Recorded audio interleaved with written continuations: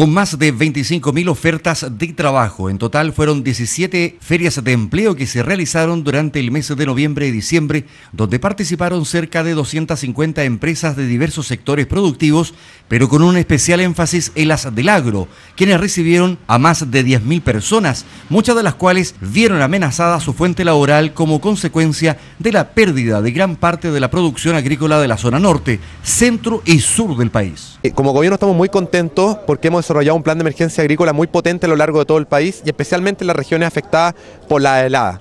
Eh, hemos desarrollado cuatro grandes ejes en nuestro plan laboral, uno de ellos son las ferias laborales hemos realizado ya 17 ferias laborales a lo, largo de todo Chile. En el día de hoy. Estamos finalizando esta feria, 25.000 cupos de trabajo, más de 250 empresas que han postulado, por lo tanto estamos muy contentos con esta iniciativa.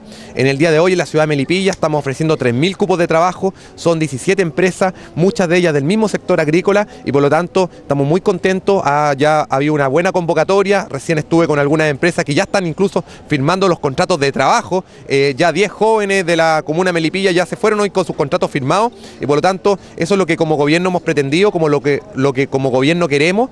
Desde la Plaza de Armas de Melipilla, que junto a Río Claro, en el Maule, y Santa Cruz, en O'Higgins, fueron las últimas comunas donde se realizaron estas ferias hemos fortalecido el tema del empleo, este ha sido un gobierno del empleo, si por algo será recordado el gobierno del presidente Piñera por la creación de empleo y además empleo de calidad.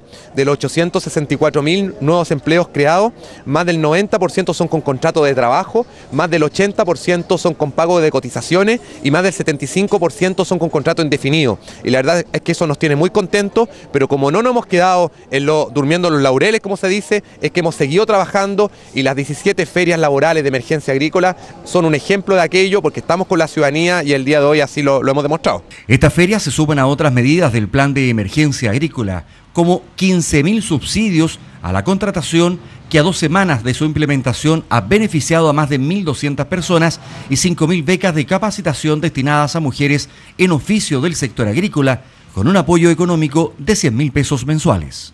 Los cupos que se están ofreciendo en las ferias laborales no solamente son del área agrícola, eh, en el día de hoy hay muchas empresas agrícolas que están ofreciendo trabajo, pero también hay otras empresas, está Walmart, está la empresa Bravísimo, hay empresas de recursos humanos, eh, hay empresas del retail, por lo tanto eh, los cupos no solamente son empresas agrícolas. Nuestra principal preocupación e interés es que los trabajadores del mundo rural se queden en el mundo rural. No queremos que el trabajador del mundo agrícola emigre a otras áreas, por eso que hemos dado un énfasis especial a que los empleos que se ofrezcan el día de hoy sean ojalá empleos del, empleo del mundo agrícola. Pero en definitiva, como Ministerio del Trabajo, nuestra principal preocupación es que los trabajadores tengan trabajo.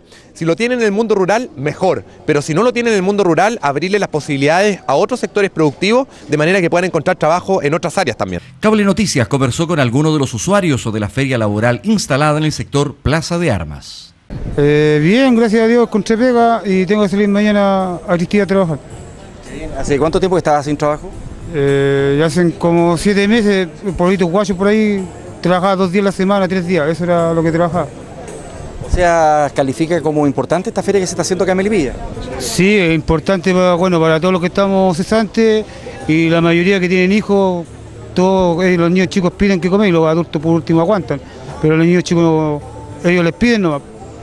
Eso es. ¿Es interesante e importante la feria? Sí, muy importante, pues bueno, para mí y para todo el personal que hay a cabo es importante que, que salga, eh, ojalá en todo Chile, porque hay varios cesantes. José, ¿cómo te fue la feria laboral? Sí, me fue bien. ¿Sí? ¿Conseguiste, trabajo? Sí, en posibilidades para dos empresas, en Aristía y acá en Grupo Pro. Eh, ¿cuál ¿Por cuál te vas a inclinar? Yo creo que por la Aristía, por la, porque es de acá de Melipilla. ¿De cuándo que estás sin trabajo tú?